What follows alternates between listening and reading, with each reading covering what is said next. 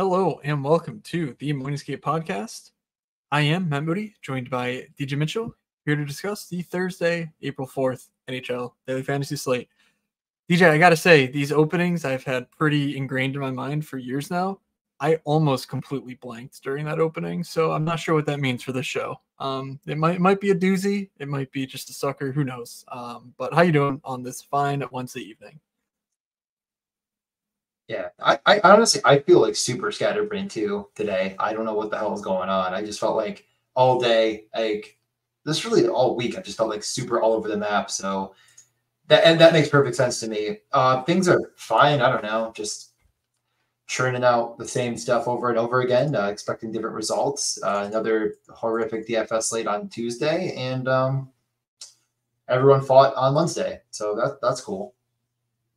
Yeah, um, I think in in you know in coordinates with with the Rangers Devils games, we should just get into a fist fight on air. So, uh, yeah, yeah, we'll see how that goes. But you what a what a weird weird slate so far. Um, All right, yes, yeah, I yeah. Let's just get into it. Let's get into everything. Let's rip it up. Yeah, no. Let's so rip up this whole Tuesday, slate.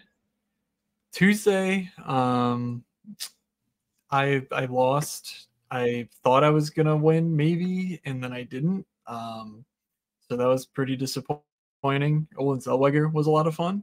Um, so let's see, it's Anaheim on the slate. They're not. We don't talk about Olen Zellweger, but I got uh, a lot of engagement for a tweet for me. You know, I'm not DJ. I don't have people just liking every tweet I post. So if I get like three tweets or three likes, I'm pretty happy. And then I got more than that, but I, I spent the 45 minutes to figure out how to clip a ESPN Plus video. Um, but that that kid's absolutely incredible. So um, really excited about him to close out the year. Uh, otherwise, I did manage to uh, scratch out a W in our head-to-head to stay alive in MSP Madness. Um, and the last thing before I introduce day three of MSP Madness is that I just wanted to call out uh, Nawada for winning like all the contests on the slate uh, with a Montreal one Calgary Buffalo stack. Um, if you weren't paying attention to my newsletter, that is the exact lineup I played in Scottsdale. Like, you know, not the same players, but the same concept of, you know, like Montreal one plus goalie, uh, Buffalo one plus Calgary, like, you know, just, just absolute rubbing salt in the wound that I do not have $250,000 in my bank account when he puts up like 206 points and wins just all the money. Just, just sickening shit. Um, but yeah, really high scoring slate yesterday on a slate that didn't really feel that enticing. Um, but Buffalo, you know, uh, I think brought an end to both of our nights pretty early. So, uh, anything else you want to say before I go over the contest that you are now no longer part of, MSP Madness? Yeah, I, I mean, I would have lost you regardless, but I played two lineups, and one was like pretty good, and one was absolutely abhorrent. Um, and it started great. Like I had the first goal of the night. I'm like, oh man, I might have to cook. And then nothing happened in my main lineup. And my other lineup, I it, it still would have lost. I think it had like yeah 101. I don't know what you finished with, but I think you had like 120, right? What'd you have? I don't even know. Uh, not quite. I, I had 106. Yeah, yeah you would have. I'll, I'll yeah, uh, share yeah, I think I would because lost by like a couple of points. Yep, just to uh, quickly preview the MSP Madness that we have on the docket here. Um, so you can see day one and day two on the YouTube. Um, I, you know, I posted that in the Discord, so if you're in it, you know.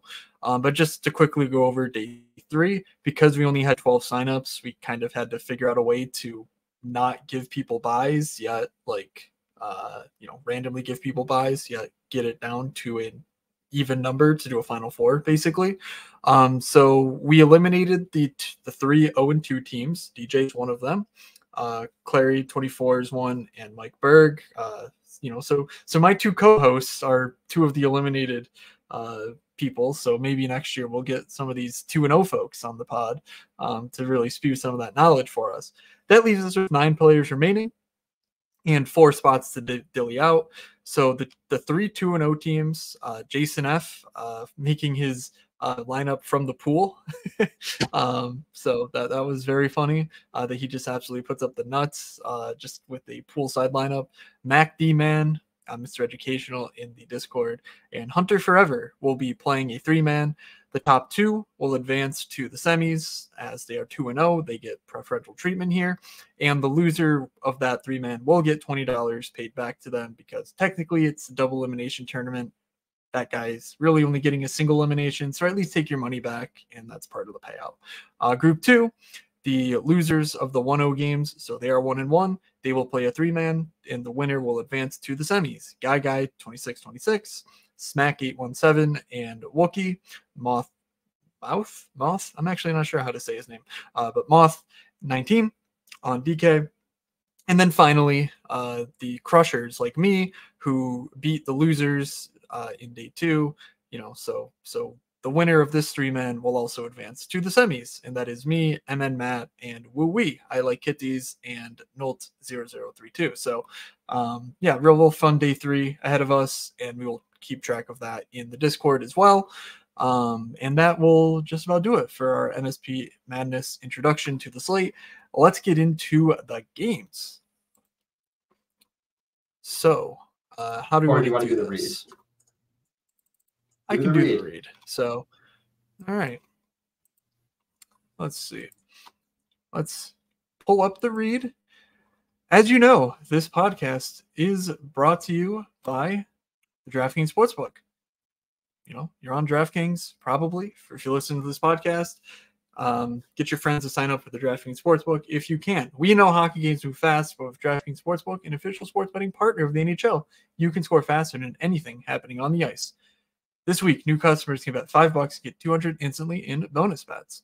Uh, we will go through all of the games on the slate. Um, I snap bet a Nashville uh, money line last slate.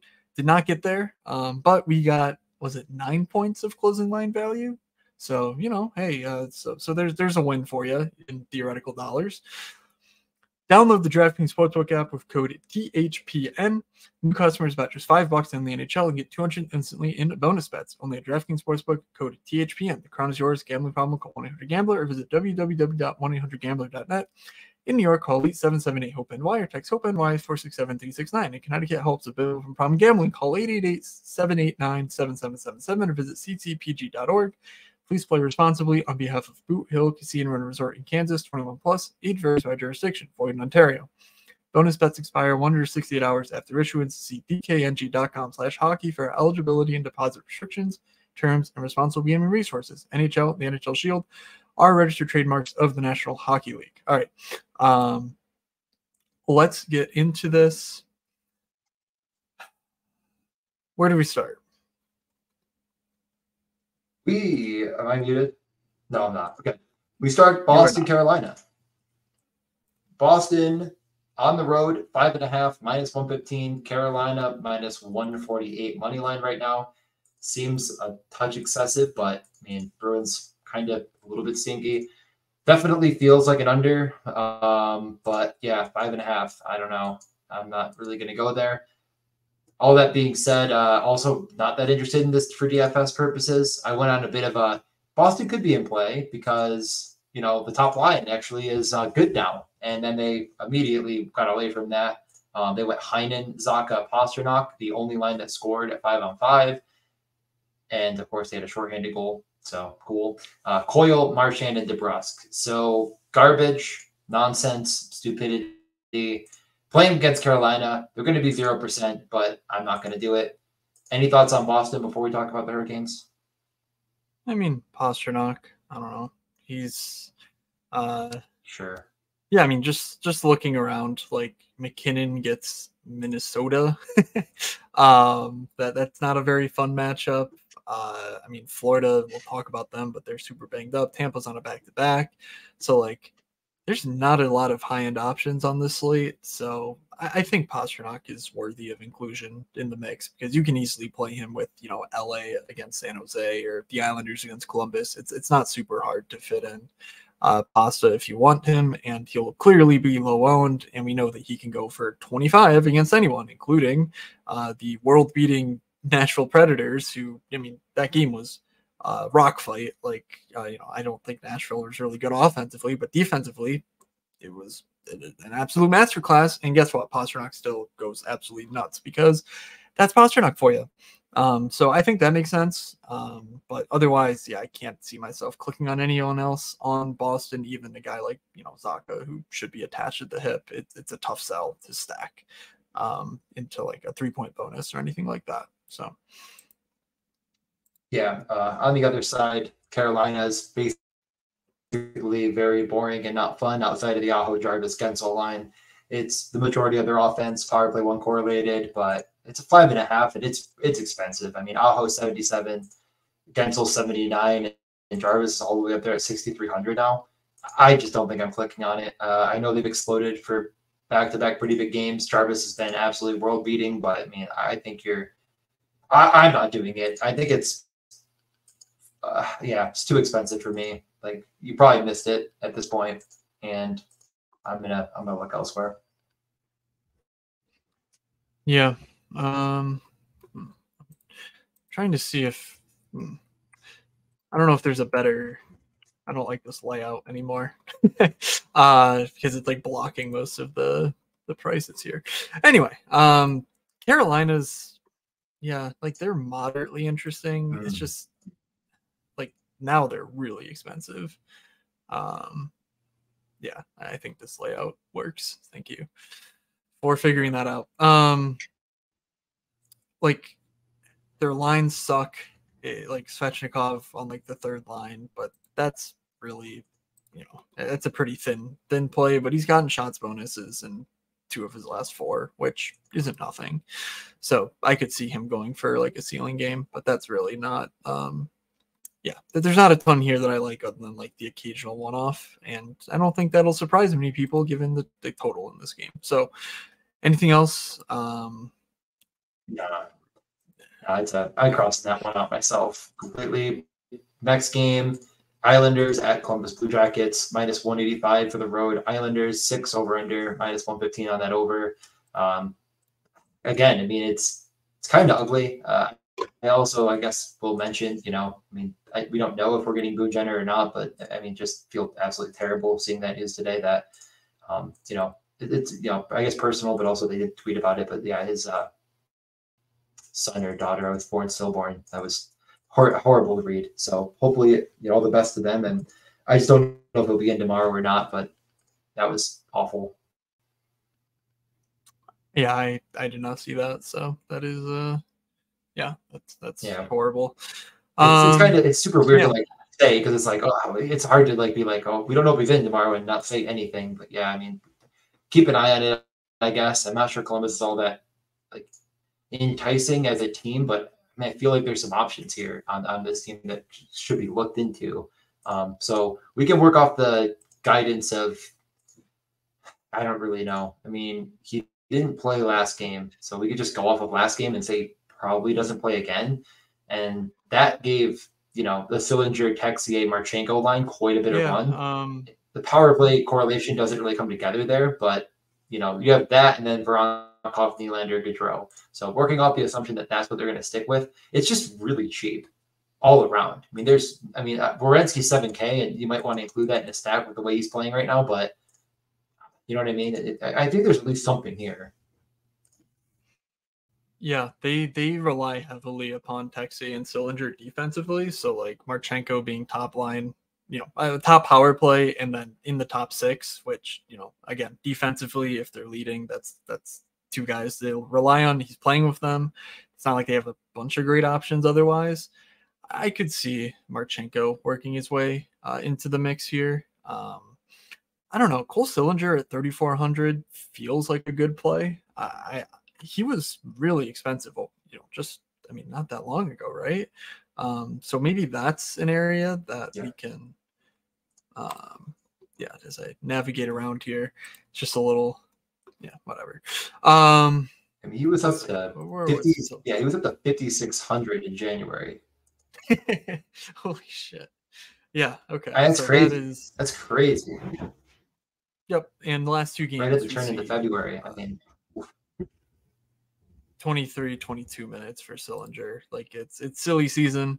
Um, it's a home matchup. The Islanders aren't a great defensive matchup, but it's also not a fearsome one. So I, if you need value, I think that's perfectly fine.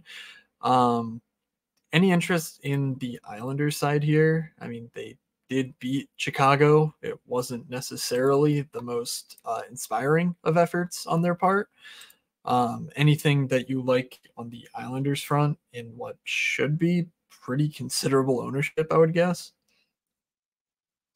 Yeah, I, I mean, watching that game, it felt like it was just full domination when Matt Barzal was on the ice, and for some reason they're anchoring Horvat and Barzal to Cizikas. And I'm not saying that like they have to put Nelson there. It doesn't really matter if they want to split them up, but like Casey Cizikas is just not it. I think that just it does enough if that sticks together to get me off of it because it, really just felt like they were.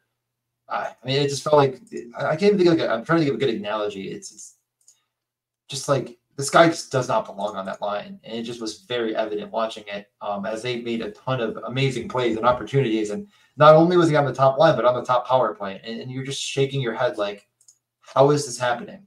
so I think I'm just not playing the Islanders. I just I, it's I just stupid not, stuff. I did not Like, notice that. Oh my god! If Pageau was Cizikas on the top power, play, Remember when people were like, just like so. "Hold on, who wasn't there?"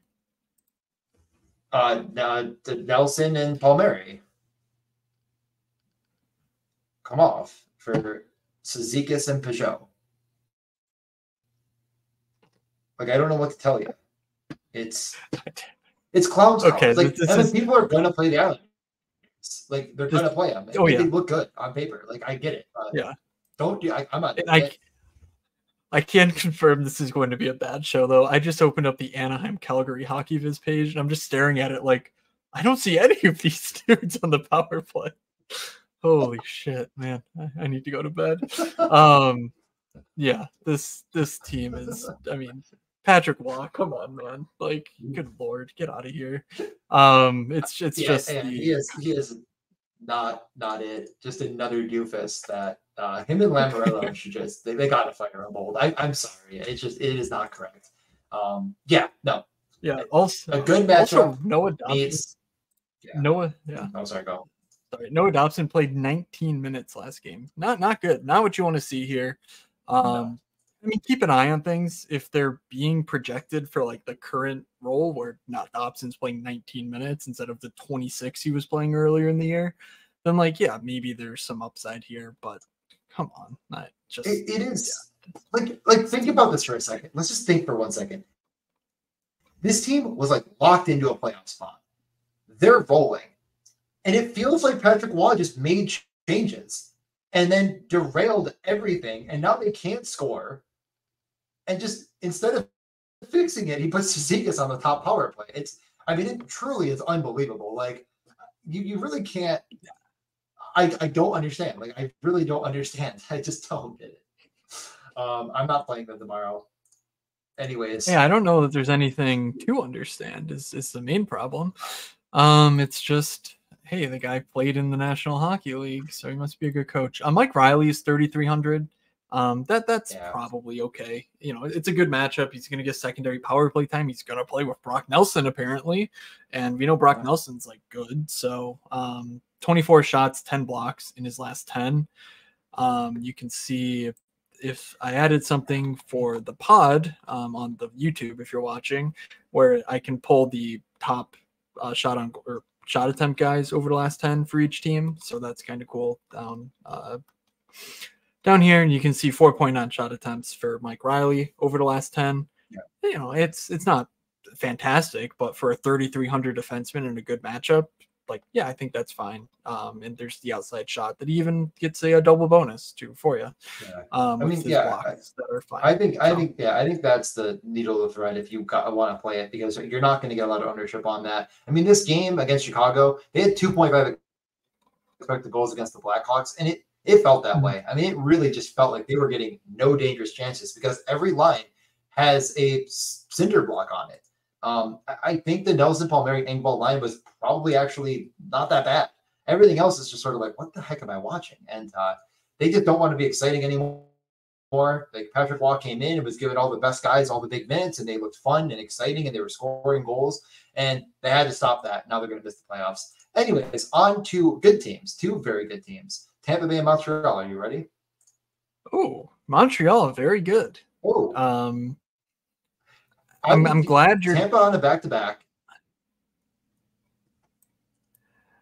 I, hey, I'm just happy you're jumping aboard. Um, you know, I've, I've watched a good number of Montreal games the last few weeks, and they look, you know, they look well put together. I don't know. Um, their their underlyings are slipping a touch as of late, and you know, it's a little goaltender driven. But man, I don't know. I, I watch this team, and I don't really see the same level of disorganization that there was early in the year. Um, so uh, yeah, I think I'm sort of in agreement with you that like this team is probably just good. Um, but does you know? I guess Yeah. before we touch on Tampa, uh, is there anyone on Montreal like outside of the top line that stands out to you? Because uh, like Nick Suzuki just went off. Um, he didn't really bring his line mates with him, but like I guess it's fine. Um, but anyone stand out to you or depth or anything like that? Uh, Caulfield scored. Uh, I guess he didn't really get there. Uh, Eleven points. Um, no, I mean it's. I mean that, that line was he scored. Yeah, I was. He, he definitely scored. I just don't really remember. Okay. Um, he had what? He had seven shot attempts, two on net, one in the back. Uh, that line. So Suzuki had uh, okay. 0.6 expected goals. Slavkovsky had 0.66 expected goals, and then Suzuki had 0.8 expected goals. So that line combined for you know a metric ton of expected goals against the Florida freaking Panthers. I don't really know why you look anywhere else. I mean, Newhook's on the top power play. I- I mean, they do allow him to shoot the puck there. They shouldn't, but they do. Matheson exists. He played 29 minutes. Um, he's 5,600 now, so becoming more stomachable. Has double bonus upside. Has hit back to back blocks. Uh, is involved. So like, it's probably just Mike Matheson if you want to do it. It's obviously not a great matchup against Tampa. They're good, but they're going to be playing Matt Tomkins almost definitely, and they're on a back to back. So I think you can Yeah. find a way to do it. I, I mean, I don't think it's going to be unknown completely, but not going to be a ton. Just people aren't going to want to do it, and it's not that expensive for how it's playing. Like Nick Suzuki is not a fifty six hundred dollar player. He's almost a point per game, and he's actually shooting. Uh, Cole Caulfield, as I just mentioned, didn't really get there last night, and maybe people are afraid because the shot numbers haven't looked good in the little recent stretch here. But it's not for lack of trying, and that number can revert very quickly against a back-to-back team. So I have no issue at all going to the Montreal well. Um, not as interested in the Tampa side, but we'll touch on it because, as you're kind of alluding to, the numbers look worse in Montreal, and they are getting bailed out by their goaltending. So that could obviously snap. It's not that expensive to play Montreal, so you could bring it back with Tampa. But what are you bringing it back with other than Kucherov? And that Yeah. certainly is going to be now difficult. Yeah, um, we know that at home Suzuki will draw the matchups, um, and you know when you play the Barkov, Reinhart, Tarasenko line, like you know, I know there were Verhaeghe's out and you know Tkachuk is sick, but like still Barkov and Reinhart have been you know elite together all season long, and when you basically play them to a draw, if not a slight win, um, that is very very impressive. And we know that this Tampa top line is abysmal defensively. Now they're you know they're magic offensively, so like you know that that makes up for it. But um, you know it, it is sort of a tale of two teams. It's like when Kucherov is on the ice, goals happen, and when everyone else is on the ice, you know no goals happen. Like that's just very much true at both ends of the ice. Um, so I think Montreal's in a pretty interesting spot. Why is Slavkovsky 3,800 again? What, what did he do? I'm not sure. It was like yeah, five, I mean, was that's 5K, and then he just kept doing good things. Uh, I don't know. I don't Yeah. know. Yeah, no, he, he's good, and Cole Caulfield is maybe a tad expensive, but 6,700 isn't too hard to stomach. Again, there's not a ton to spend on on this slate, very similar to Tuesday. We'll talk about MacKinnon, of course, but like, um, you know, it's not a crazy slate, I think, to uh, want to spend up on like, uh, you know, Montreal one, for instance. Um, I'm not sure. Mike Matheson seems like he's doing far better than he was maybe a couple weeks ago. And I was kind of like, yeah, you know, he's just not really putting up the, the, the solid underlings you'd want to see. Um, I don't think there's anything, you know, like that Montreal does not show up anywhere on the expected fantasy point list. Like not even Cole Caulfield does. So it's a little bit tough to like, you know, oh, all in, I'm going to spend, you know, because even if Slavkovsky's cheap, you're still paying, you know, reasonably high salaries for Caulfield, Suzuki, and Matheson. Um, but Matheson almost at five shot attempts a game last 10. If you stack Montreal, I think that's fine. I wouldn't play Matheson otherwise, though. Um, and yeah, I think for me, it's mostly Newhook. Joel Armia, maybe, but again, I think it's more with Tampa. You really just want to target their top line for offense. They're, they're really solid defensively. Otherwise, um, they just don't do a lot offensively. Otherwise, so it's just a tale of two games. Um, Tampa. Any interest in full stacking Kucherov or power play stacking or um, you know Victor Hedman scored tonight? Like, is there anyone besides Kucherov that stands out to you? Is like you know the obvious stacking I mean, yeah, I. Well, I mean, Point plays with them all the time, but I mean, a it's expensive, and I, I, mean, really, the reason to do it is because I, I think it's going to be pretty low ownership. Um, I don't know though. People just love playing against Monster. I, I really don't know. I think I'm not going to do it, and I understand why you would, but unless the ownership is going to be lower than like I don't know, Kucherov under six, seven percent. I don't really know why I'm doing it. So I can just move. I don't know. I I'm not gonna do it. Probably is basically the point. Yeah, that's fine. Um, so okay. let's get over to. Well, of course, I just closed out. Um, let's just get over to the Florida Panthers heading into Ottawa. Um, Tarasenko revenge? Question mark.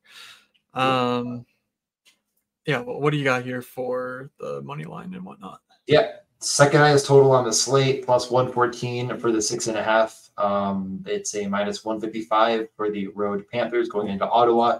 Already, certainly without Verhaeghe, question marks on the Chuck and Ekblad. I, I really don't know what they're leaning there. I will add that at the end of that Montreal game, I, I believe it was the last at least five, if not more minutes. Reinhart never touched the ice again once they got down by like three. Um, his minutes don't reflect that too much with 19 because they were going for it for a while. Uh, but yeah, I mean, it kind of seemed like that entire top other than Tarasenko just exited stage left and never was seen again. So really just Barkov, Reinhart and uh, Montour felt like this never came back out there. I mean, because Ekblad already got hurt and they're, you know, the truck's banged up and whatnot. But I, I guess I'm just all of this to say I'm a little bit hesitant. Um, the top power play was Tarasenko, Reinhart, Barkov, Luostarinen, and Montour. A little bit different than mm-hmm. expected, of course. Luostarinen was net front. Do with that information what you wish. Reinhart was with Barkov and Tarasenko. I don't know. It feels like kind of a mess in Florida. I get the team total is decent here. It's like you know a spot to bounce back after a tough loss in Montreal, but Ottawa's been playing fine. I don't really think this stands out. It's not that cheap in general. And like like I'm, i guess what I'm alluding to is it's not that cheap because you're kind of centered around that top line completely. And Tarasenko's a good savings at 4K, but I feel like you could just one off him and be fine. So it's kind of what I'm thinking here. Um, what do you think? think? Yeah, I mean, we are so like you know, we've been banging the drum and the Florida underlyings are showing weakness. And now we're finally getting like, oh, wow, like this, you know, it's Florida screwed basically is the chatter around the league. Um, so, you know, do with that what you will. I'm honestly not sure how the field reacts to things like this, you know, where like uh, the, the, the, the beat writers, the media in general talking about a team, like, I don't know if that actually is going to lower ownership here. Um, but it does make me a bit hesitant to spend way up on Florida for sure. Um, I think I'd rather take a stab at whatever this Lundell Luostarinen line is, as far as um, I think they redo their lines here. But if it's Evan Rodrigues, if you know they maybe they even put uh, Reinhart back with them, like I think that would be an interesting uh, you know path to go down. Um, just because you know uh, Tkachuk, even if he plays uh, with no Verhaeghe, I believe that they would still sort of be uh, more focused on Lundell or Saranen as a pairing, especially in a situation where they win, um, just because they're sort of their you know their secondary aces after Barkov uh, to shut games down. So I'm keeping a close eye on what actually transpires as far as you know uh, the lines and whatnot. But I do think Luostarinen is pretty interesting, and he's almost a deadlock if Tkachuk misses again. Um, you can see here he's been very good. He's on the value list in fantasy points per dollar, um, expected fantasy points per dollar, 2,700. If Tkachuk misses, he should be power play one. Um, and yeah, that would be pretty pretty enticing. Otherwise, in Ottawa, I mean, Brady Tkachuk, 8,000. Like, is, is this team all of a sudden a little bit sneaky? I, I don't know. Like, Florida, you know, they, they've been getting beaten up. Uh, Ottawa, or I think Tkachuk put up six or seven shots against Minnesota the other night. So this might be a spot for Brady. Uh, what do you think? Yeah, I definitely keep an eye on the Ottawa lines tomorrow. They did switch it to Batherson with Gray, Greig um, and Tkachuk later in the game. Uh, didn't really oh, help shit. all that much. I, I mean, it, yeah. So I, I, just keep an eye on that. Uh, well, the power play was Chychrun and wait, what? Uh, uh, Cliffy's going to go what? absolutely nuts if that's true on the uh, Stokastic show. He loves Ridley Greig. I, I mean, I don't know if it's going to stick or not because I'm pretty sure. Yeah, they did. I think I, I but all three goals came against Batherson and Tkachuk at five on five. Greig was out there for one of them and I have to look at the shifts. I, and I believe it was the last one. I was watching a good amount of that game, and I noticed it, and I double checked, and I was pretty sure that Greig. I don't know. This is probably great content, me trying to figure it out, but I'm pretty sure it was Greig that got out there again with Brady and yeah, it was later in the game. Yep, and it, it stuck throughout the rest, so the whole third period basically. Um, so keep an eye on it for sure. Not yeah. All of this to say is like that is the best line it is the line that gave up all three five on five goals against. I'm not saying that's going to happen again because, as you can probably imagine, they got matched up with. Uh, oh wait, four. the fourth line scored two goals for Minnesota. Never mind. I don't know. I, don't know. I honestly like. I get everything you're saying. I'm not going to do it. I just I'm going to stick to. I'm not playing against Florida, uh, even if it kills me. Um, I think this is just going to be kind of a garbage game, and if, if Batherson is the reason I, I you, you, can maybe give it a look, but the, the volume isn't yeah. great there. So you're really, you know, you're having to stack him at me, and so I don't know. Yeah, I, have already tried to talk myself off this game entirely. We have one of the most narrow funnels in the league right now in Ottawa. Um, Brady, Chychrun, and Batherson, all north of five shot attempts a game over the last 10. The next guy after that, I mean, I don't even know if Hamonic's mm-hmm. playing. Um, the, the DK sheet doesn't yeah. filter out guys you're not playing for the pod. I'll work on that at some point. But uh, Jake Sanderson is the next guy in line at 3.7 shot attempts. So like Claude Giroux, Tim Stutzle, like they're just nowhere to be found. They're yeah. not shooting. Um, Pinto as well. So like I think Tkachuk and Chychrun make for a great mini stack. Um, that yeah. makes a lot of sense to me. Um, so that's sort of the, the main interest I have in this game, but I certainly am keeping an eye out on lines for for both sides, honestly, um, to see if there's anything we can exploit. Uh, okay, let's move from there over into Pittsburgh at Washington. For Washington, Tom Wilson should return. So the top line, uh, experiment seems like it will end. Um, who was McMichael still centering Ovi, or did we finally get Strome back? Yep. It, it, well, I mean, during the did they wait? Did they practice today? That's a good question because I actually don't think uh, I they looked. Did okay? They definitely okay. Well, did. I'm gonna I'm gonna pull it up. That's one team I okay, never pulled up, I guess. Because it I, was it was just sorry, it was just an optional, so we don't actually know what the lines are. We just saw that Tom Wilson will return, and that I believe Coach said okay. he will go on to Ovi's wing. Um, yeah. In any case, again, not I not mean, worth trying to find. The power play, the power play unit that scored and got the majority of the run was Ovi, Strome, Carlson, Lapierre, and Sgarbossa. They lost six to two. Yep. Everything could go yep. out the window. I mean, let's yeah. So I, I, I, I, I all the best players are still the best players. you know what I mean? Like it's not yeah. a big deal. Yeah, I think it's Tom Wilson and Ovi. Um, well, I mean Strome and Ovi, and then I think Tom Wilson yep. is pretty safe there, and obviously John Carlson. Um, I mean, Ovi's just shooting an absolute metric ton, 8.7 shot attempts over the last 10. Like this dude is not going away anytime soon. Uh, that mark is identical to Cale Makar, you know, higher than Nathan MacKinnon, identical to Phil Forsberg. Like these dudes we talk about as like pure crushers. Like, yeah, Ovi's not getting a ton of expected goals. And you can argue, okay, he's old, he's not as good as he was, but like he's still beating his expected goals numbers. Like he's Alex Ovechkin. Like, you know, and so it does not feel like that bad of a matchup.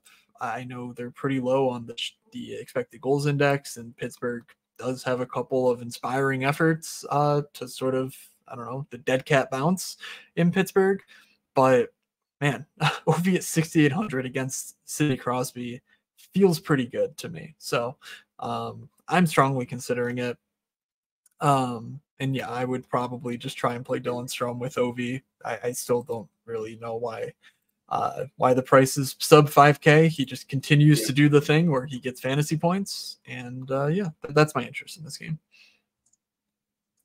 yeah 100% i mean i'm i'm all over honestly i could be very easily convinced on both sides of the coin here i think this is probably my favorite game of the night for uh, game stack in general uh, washington because we know where it's coming from entirely at this point I, it's just like like watch that power play back, that goal, and it was just you know Strome, Ovi, Carlson. Strome ends up burying it, but like Sgarbossa and Lapierre are just pylons out there. And I mean, I'm not, I'm not saying Tom Wilson's certainly not worse than them if he gets back in the mix. Uh, I think he'll be better, but like he's not going to be a guy that they're moving the puck through. It's just so obvious where to go, and where the the peak comes from is Ovi on the power play. So all in on that. I think that Pittsburgh really does have two lines worth consideration. The power play that they ran, and of course they're going to keep. They, you know, this one six to three was Bunting, Rust, Karlsson, Malkin, and Crosby, which means that you have kind of two options here: Crosby, Rust, Bunting, and Malkin. I mean, the Malkin line was the one you would have wanted last slate. It definitely makes things fit a lot easier. I have no problem with it. Um, you know, the upside obviously doesn't feel as good, but it's pretty cheap to play a Bunting uh, Malkin situation. So there's options here. And this game, I mean, Pittsburgh wins this game. They are not entirely out of this entire race yet. Um, I guess my problem with playing the Crosby line is am I really clicking on Bryan Rust more expensive than Alexander Ovechkin? I get you could play both of them. I don't know. Um, it gets it, it's tricky. Uh, but yeah, Erik Karlsson back on the top power play. We everyone thought it'd be Letang. He scored, but it was not really uh Erik Karlsson, you know, sniper. He bounced off like three guys and went in. No one's really shooting at a metric ton rate in Pittsburgh, which is kind of why, again, I'm okay with saying who really cares. Like the goals will be the goals. I, I might just go Malkin, Bunting. Yeah. Um, cube however I want. Yeah. um, shooting, I guess. But. The the Karlsson, yeah, I was I was like I saw a seven point one shot shooting. attempts yeah, number, but shooting, shooting. yeah, it's whatever. It's 5800. It's not 5k like it was, and I, and I, do feel like that matters. I do feel like Pittsburgh will get some ownership on the road in Washington against a Caps team that I still respect defensively. I know Buffalo put up a fucking touchdown on them, and it made me very sad. But like, um, well, it made me very sad to lose. It's gonna make me very, uh, it's gonna make me laugh very hard when they miss the playoffs by like three points, and they're like, "Oh my god, if they just hadn't lost to you know whoever Ottawa or something, um, that'll be very fun." But um, you know, I, I don't really see a reason to bite into a ton of ownership here on Pittsburgh. Like maybe Crosby Malkin is what I would want to do. Like I would just want to do something that's just not bland line stacking because that just feels like you're eating into a pretty poor five on five matchup, honestly. Um, and you know, there's no defenseman to really offset the expensive costs now of of Sid and friends. So, um, yeah. So, I think we've talked enough about that game. Next up, yeah. we do have Colorado oh, the next heading into be, Minnesota. Yeah. What do you got? What you got? This game will be fast. I, I mean, it's, I'm like just like it's a six over under minus one twenty two on the over minus one seventy for the road Avalanche. First and foremost, we don't know on Valeri Nichushkin yet. It sounds like he won't be back till Friday. He had a full skate. It seemed like he was good to go. We're going to keep an eye on it. Uh, obviously, Hartman's still out. I mean, there's just no way, in my opinion at least, that I'm playing either of these top lines. And if I'm not playing either of these top lines at these prices in this matchup, what am I really doing? You know, like the only other option is going with like Mittelstadt You don't have to do that in DFS. No one's going to make you on this big of a slate. Like on a small slate, sure, I get it. Um, he was on the top power play pretty much in full last game. I'm not doing it here. So yeah, I think I'm completely out in this game entirely. Um, and if you want to play MacKinnon as a one-off, I think that's probably the way to do it at 52. Uh, that oh my god, 52 at 10,200. Um, just just because he is truly doing everything he can to win an MVP. Uh, I like just one off him if you want, but I don't even think you need to stack around him all that much. Um, I don't know. I, I just I think at the end of the day, there's almost a zero percent chance I stack into this game. Um, I don't like it. Yeah, I'll need to uh I'll need to check, but I mean 10 or sorry, uh 7.9 shot attempts in his last 10 honestly feels like a low water mark for MacKinnon. Like he's been so good yeah, that that feels like a low number for him. Um so I don't know if that like, you know, like it's clear that he still has the shot bonus in his arsenal, but I'm not sure that that's like a dead guarantee, especially if Minnesota just rolls over and plays dead. Um, and they've been pretty solid defensively, you know, uh, that even the goaltending has held up for them. So I'm a little nervous about playing into MacKinnon here. Like, you know, there's not a ton to spend salary on. So by all means, if you want to one off him, that's probably pretty good. I think I'd almost rather one off David Pastrnak though, just because I feel like you get a decent ownership discount and you can play some of these uh, LA guys that we'll get to without feeling, you know, quite as 2v2, 3v3 ish. Um, but yeah, that's, yeah, I don't know. Like in the Minnesota one, like, come on, like they're, they're still a billion dollars. Like, yeah. yeah. Like, I mean, He's, we, I mean, MacKinnon's going to draw Eriksson Ek.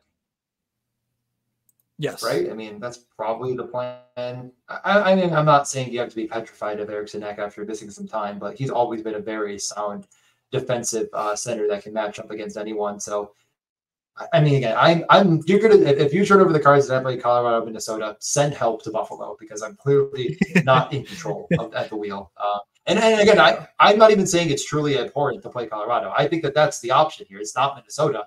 Um, and Cale Makar's been shooting a ton, uh, like like very recent, the past couple games. Makar is shooting every puck at the net. Uh, I'm not doing it here. It's not for me. Not me. Not now.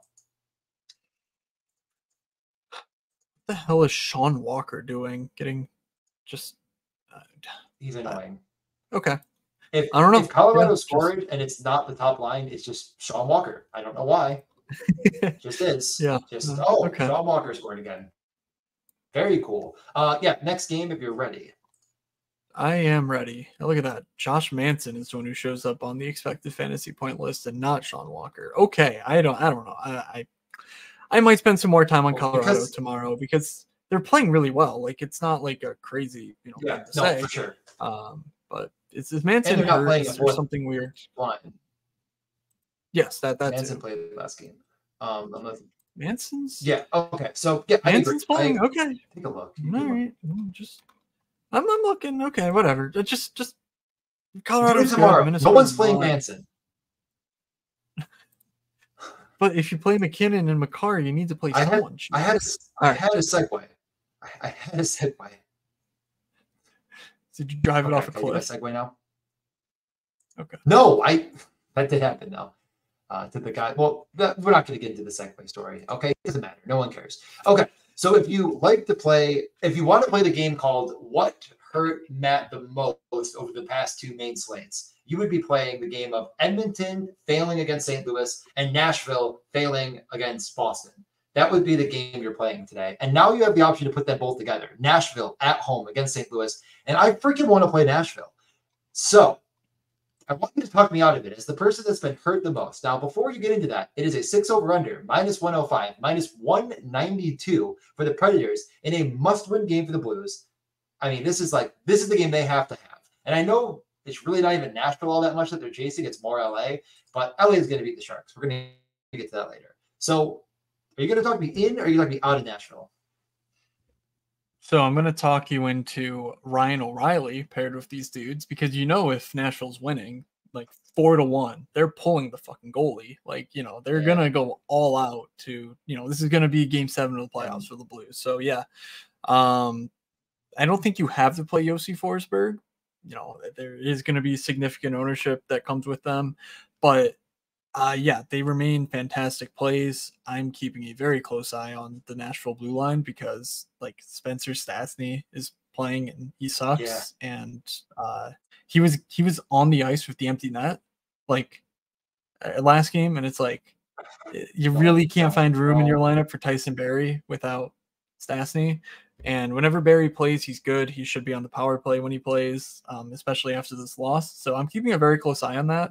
Um because Barrie will make a lot of sense if he's in the lineup and if he's not Forsberg, Josi, yeah, they're fine, but I would definitely play Ryan O'Reilly with them for the empty net potential. And of course, Gus Nyquist also could get there via the empty net. And it's just additional upside for um, a team that you really don't need to squint to see why they're in a great matchup. Uh, the Blues, you know, they kind of stink, and Nashville, despite their blip against Boston, um, have been pretty dominant and they're at home and, you know, they're incentivized here and everything else. So, um, yeah, I don't think I'm talking out of Nashville by any stretch, but I'm certainly not going to try and talk you into like a Cody Glass or something. Because coming off of that last game, I, I truly do think that any bit of a struggle, like any of these guys could get benched. And so I'd rather just pay up for Forsberg and Josi and find value elsewhere on the slate. Yeah, I mean, I am a Brunette believer. I think he's a good coach. That end of that game, again, it's kind of hard because it's like, who is he going to put out there? They really only had one line that was putting up a fight against Boston, and that line was out there for 22 minutes already. And, and uh, you know, O'Reilly, Nyquist, and Forsberg. When that line was out there, they were in the opposite zone, taking care of business. They just couldn't freaking score. Um, there's just no need to look at anyone else. And they the collapse at the end of the game is because as soon as those guys had to leave to take one second to drink a sip of water, they got destroyed. And therefore, when there's no goalie, that's a goal against automatic. Um, very frustrating uh, game to watch. It seemed again like that mine was just cooking, and they just could not find the answer key to uh, Linus Ullmark. Luckily for them, they did not play Linus Ullmark. It's probably going to be Jordan Binnington coming off of the game of, of this of the season for him. You know, a game against Edmonton. Like he could be a situation where people might, and I hope, fade Nashville because they're coming into this very important game against a goalie that just did it against Edmonton. I'm not going to be afraid of Jordan Binnington. I never have been afraid of Jordan Binnington. And yeah, not going to start now. Um, so Yeah. great game. If- Definitely a good one to watch. Is there any thoughts on Yeah. the other side? No, well, just one more thing on Nashville. Uh, the very last power play they had and the empty net, it was the main four that we know Nashville and, and Josi. I mentioned Stastny on the stupid empty net situation, six on five, but on the power play, the last one they had was Evangelista in place of Glass. And, you know, if the projection sites miss this, if they have glass projected there and you know whatever else um, just just stay tuned we're actually we have been getting good power play information from nashville for some reason Yeah. in morning skates so maybe it's because people actually care about them now because they're winning um, so we might get this news but just keep Yeah. an eye out for it uh yeah st louis It just it had Whatever. it's gotta be buried. it's gotta be buried. like I don't understand. That's the only time their power play looks good. I, I don't get it. I don't get it. Okay. Go on, the St. Louis. yeah I, I don't really see anything on st louis that stands out I, I think nashville's better defensively than they are offensively especially with their depth pieces um i i liked what i saw out of Toropchenko last game he's 2500 second power play um he's sort of trusted i don't know he he certainly has a lot of the coach speak mentality they're like the qualities that you like to see from like your cheap punt shit um so, you know, if he gets a point, obviously you're thrilled. But 2,500, I think Toropchenko is really the only guy on St. Louis that I'm considering. And that's just because he has a newfound role, you know, on that second line that I don't believe they swap up and that he earned a power play role as well with the uh, second unit. So, yeah, I think uh, that's um, all I have. you know, the, the yeah, the very recent run of Kyrou looked good. Back to back shot bonuses. Playing with Robchenko and Buchnevich. I think no matter what though, if I'm clicking on a St. Louis Blue, it is going to be tethered to Torey Krug at 4600. This I'm- last game, and I believe again, I mean they played four defensemen, and I don't think that's going to change. And if you're giving me 28 minutes of Torey Krug, I'm at least going to consider it. He does have double bonus upside. Mm, you know, the, the, the, goal department may be more lacking than other defensemen with his the, his shot not being maybe the best in the world. But I do think you're looking at a guy that could definitely meet value at 4,600, especially if you're already saying that another guy in St. Louis is winning on this slate. Mm-hmm. Yeah. Um, Schenn and are paired up. They've been pretty good value wise, but I don't know. I don't, I'm not sure why you'd play yeah. them on the road here, given some of the other spots we've touched on with better teams and yeah, power play was power play like was back, the, uh, back Florida line and whatnot. Yeah, it was Thomas Kyrou, Buchnevich, Neighbours yeah. crew, by the way. Uh, we'll keep okay. an eye on it, but that's expected. Final two. Yes. Um, yep, we had yes, the Calgary Lane, and Winnipeg. Six over under minus 102 and a minus 205 on the Winnipeg Jets at home. Uh, Nino Niederreiter out week to week, hopefully back for the playoffs. And return is out to Toffoli at 5K. He was sick. He should be back. Um, yeah, I don't know. This game is uh I don't know. I, I feel like I equally like and hate. Like I think this game could be one to one going into overtime, and it could be six to six. Like I really don't know.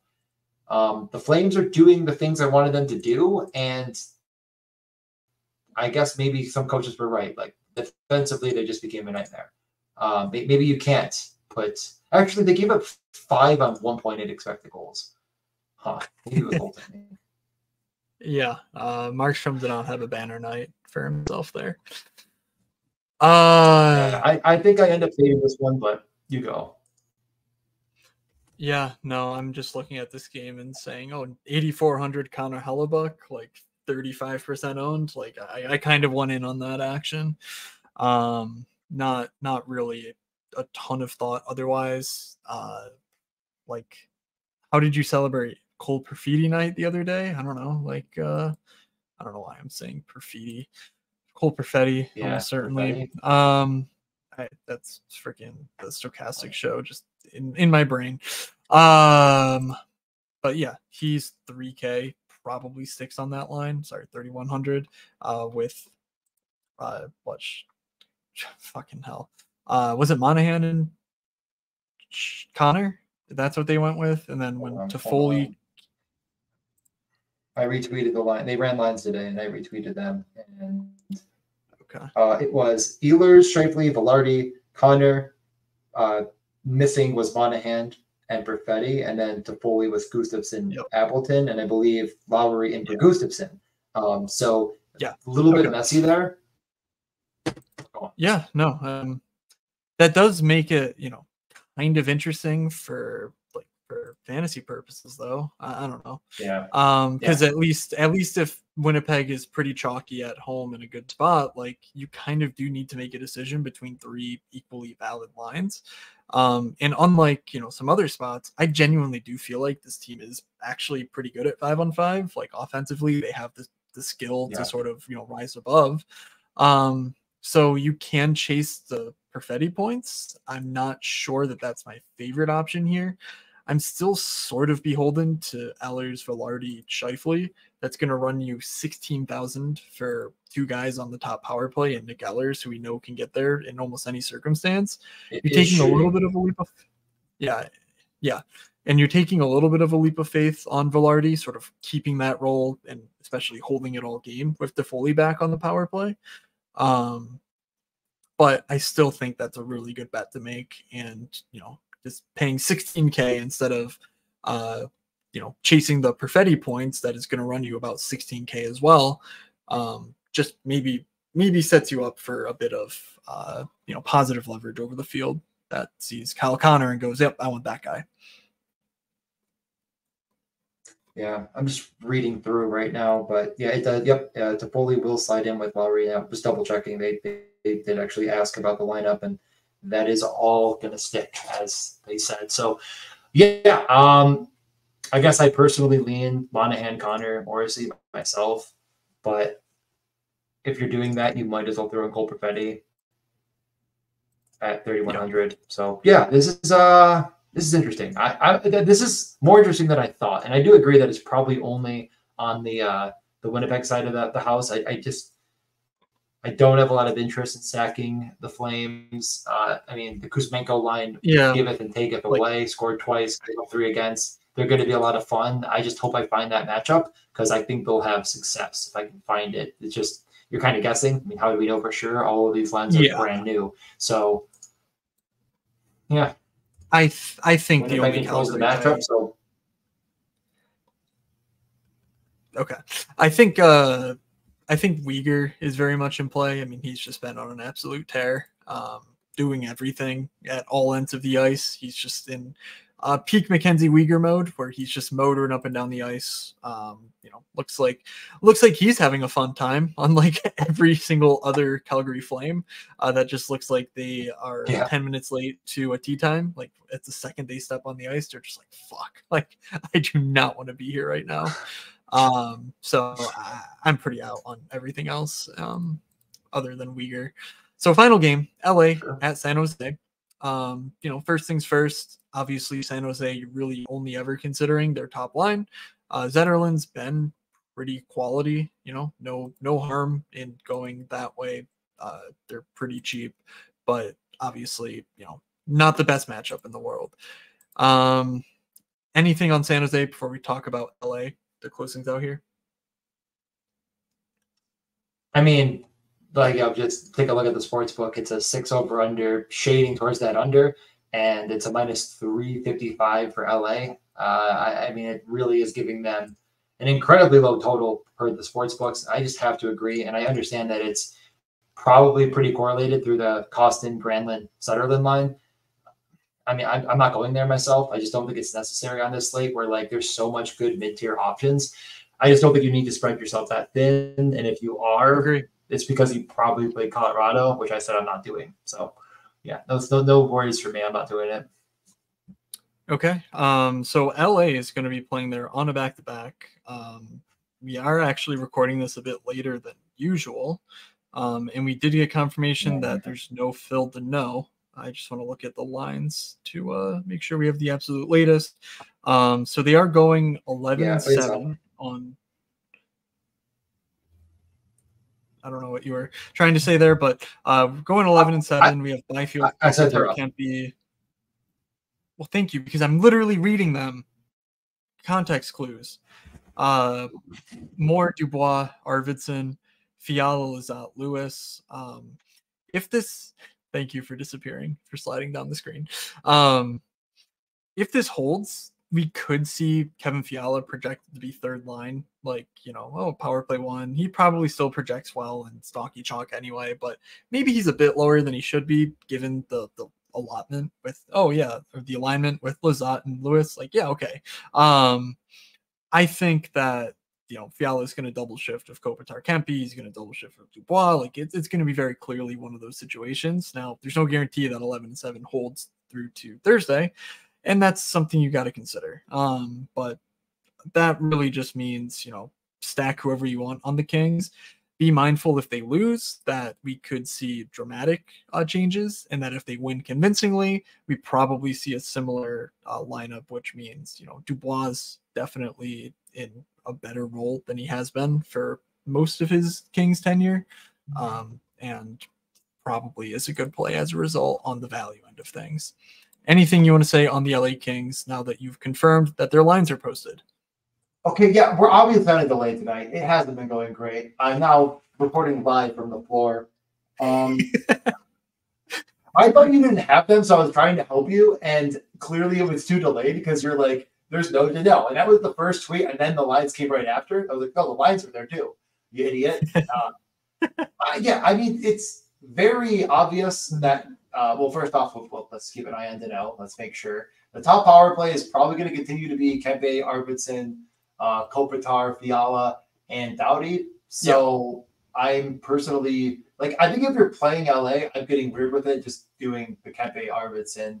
Um, Okay. God, I don't know. I, I probably would throw a third in. I just say that they just explode out the slate. Um, I guess the power play correlation there is a little odd because Arvidsson doesn't really play. He plays the Jeff Skinner role from the past. I don't know, like that front D moving the. I mean, he controls it from behind the net a bit. Uh, maybe you could get a Kempe to Arvidsson tip goal or something, but I mean, those are the guys that are driving the bus. But I mean, maybe I might just play Kempe, honestly. Yeah, uh, 6,500 is certainly uh, you know It's too so cheap cheap.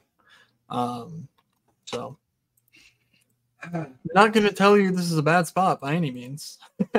um, you just kind of gotta just pick a few, I think, and go with it. I don't know that a you know a six stack gets there on this slate, but um, I'm sort of partial to Pierre Luc Dubois. If he if he plays 19 minutes in an 11-7 setup against the Sharks, I think he gets there in a pretty big way. Um, so yeah, that maybe Dubois with Kempe and Fiala just saying, you know, the, the cross lines, you're getting their best players, yada yada. Why not? Um, Why do you hate Arvidsson? Like, what is wrong with you? I don't know. He's just expensive. Like, you? yeah, uh, he's just he's just not he's just not one of my dudes. I guess. Like, He's know, clearly one of mine. Um, okay, that's Yeah, fine. I know. Let's we know. top stacks, guaranteed goals from the floor. This is where I actually pick the good ones. I just have been too high up in the elevation. Um, Yeah, exactly. past. So I, I feel like I, every slate I don't hide it at all. Like I truly, like I try to like I feel like when I do the stacks, I I sometimes give a bit of chalk, but I never hide how I feel about each game, each each slate. Um, so I don't think it's going to come as much of a surprise uh, either of mine. So I'm gonna let you go first, just in case you had one that you were a little bit keener on that I might steal. Uh, I will go Brady, Batherson, and Chychrun. Okay. I was not going to do that. So I think no matter what happens tomorrow, I will end up having that very expensive, somewhat chalky Nashville situation. Um, Josi with Forsberg for sure. And the third guy in, as you mentioned, I mean, you could go all the way with Nyquist and O'Reilly. I have no problem with that because to pay off that those price tags on Josi and Forsberg, you really need an absolute heat vest. Um, so it might be all the way, but let's keep an eye on it. You know, there's Tyson Barrie's back and maybe going to play with Josi at five on five in the power play. Then I could just go with those three as well. Uh, so let's just say all of the Nashville one. Okay. Uh, certainly, certainly don't mind that. I will go uh, with the the Winnipeg uh, Scheifele, Vilardi, and Nick Ehlers. Um, yes, Never Ehlers' season is coming to an end for one night. Um, dude's been playing well. I, I do actually trust that Scheifele and Vilardi play well together. And you know, let's just be real: is Kyle Connor that different than Nick Ehlers from a driving play standpoint? I'm not sure. And there's a 2,000 price difference uh, for the you know for the enhanced correlation of getting Ehlers and for the uh, you know losing the power play that Connor brings to the table, of course. So um, I like that. Maybe it's a little bit different off of the Connor Monahan uh, Perfetti point chasing, and uh, I think you know it's, it's a great matchup against Calgary. Who's who's going to argue that? So uh, there's my two stacks. What else you got? Uh, Ov, Strome, and Wilson, which won't fit exactly. So I will have to make some adjustments based on Okay. the Nashville power play, probably. But we'll, we'll keep it in mind. I mean, you know, for now, that those are the two. But even if I played like Tarasov, I'm just out of uh, finishing that lineup off with two punts. But those will be the two I go with here. All right. Uh, do you want to do that. guaranteed goals? Yeah, where did okay? My phone's on the floor with me. There it is. Uh, okay, let me pull it up. Yeah, last night I think we were two for two for four again. Yeah, Paterka. Oh yeah, but, but for Hagee didn't count because he was out. So I ended up switching uh, to not I Kuzmenko. It's uh, it doesn't matter. Uh, we we we were let's just say we're two for four because I bet two for four. Um, you're right. I should probably go first. Uh, I'll yeah. Did you wait? You didn't say Kempe, right? What did you say? I did not. No, yeah, I'll go Kempe. Okay. Um, I, you know, I'm gonna I'm gonna be a little dangerous. I'm gonna live in a very similar price range to you, but I'm gonna go Cole Caufield um, Ah. against Tampa. So that leaves you 4,500. That leaves me 4,300. Uh, what would you like for your second? I wrote Coke Caufield. Wait, how much did I have? I'm sorry. I was still laughing at myself. Uh, 4,500 is what you have. Um, five, 45. Uh, Tarasenko, revenge. Okay. Um, that that does make a lot of sense. I will take Cole Sillinger uh, with Ooh. the with Wait the uh, enhanced role that he has. Um, yeah, That's I- I Cole. just- That's Cole and Cole. Holy shit, you're right. Oh my god. Uh, yeah, it is I- four four. I don't. That's honestly probably like the Sillinger thing. I really do like. I think he actually has a, a pretty good NHL shot, and it's very underrated. Yeah. Uh, the run is good, and he's he might actually be like Marchenko is a better probably pound for pound shooter, Yeah. but like that offensive creativity there, I think is actually a bit like going to be overlooked on this slate uh, because of the Yes, power play um, correlation not existing. Yeah, and certainly at center, I feel much worse about the mid tier centers than uh, the mid tier wings, which sort of uh, pushes me away from Marchenko and into Sillinger. Like if I'm choosing a one off, which is sort of how I use my guaranteed goal uh, choices. Anyway, um, so that'll do it. I mean, uh, not really much else to cover. So let's get on out of here. Uh, you can find me on Twitter at Fake Moods. DJ's at DJ Mitchell 94 if he ever gets off that floor. Um, you also can follow the YouTube. Uh, not only was this podcast on there, but also some uh, live streams when he decides to do degenerate gambling or other. What after- after streams. this? I'm doing one after this. Hell yeah! Well, I'm last night when a- you're listening, right? Yeah, yeah. I'm gonna do a yeah. Uh, I'm gonna give a quick encapsulation of sort of a very short history of the TV NHL situation and why I'm frustrated still. And I'm gonna apologize as well. Okay. Well, I, I look forward to it. Um, let's yeah, well, let's end the show there. Um, that that's by the way, it's DJ Mitchell on YouTube. I don't even know how the at works on YouTube. Is there an underscore in there or no? Anyway, links is. in the description. Links in the podcast description as well. So uh, easy to find if you want to. And the podcast is at MorningSkate Pod over on Twitter. DM one of us if you want to get on the Discord. And if you are in MSP Madness, please do join the uh, the nine man contest I will send out for Thursday slate. Don't forget to join it. All right. Thank you all for listening. From Doug, from DJ, from myself. Have a good slate, everybody, and we will see ya.